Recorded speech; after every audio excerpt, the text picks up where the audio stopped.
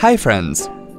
Are you getting the access denied or other errors while trying to work with files and folders on your Windows 7 PC?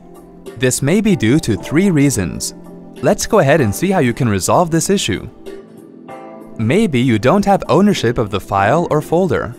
Navigate to the folder or file that you want to take ownership of, and then right-click on it. Click on Properties, click the Security tab, click Advanced, and then click on the Owner tab. Click on Edit.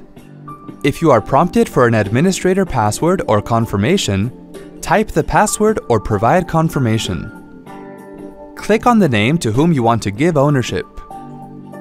If you want the selected username to be the owner of files and subfolders in this folder, select the Replace Owner on Subcontainers and Objects checkbox. Click OK and then click OK twice to close the Properties windows. The second reason might be that you don't have the proper permissions to access it. To resolve this, right-click on the file or folder and then click on Properties. Click on the Security tab. Under Group or Usernames, click on the username whose permissions you want to check. To change permissions on a file or folder, click on the Edit button. Once again, under Group or Usernames, click on the username whose permissions you want to change, and then click the checkboxes for the permissions that you need. Click on the OK button to apply the changes.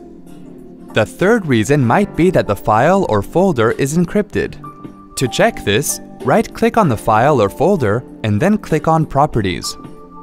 Click on the General tab and then click on Advanced.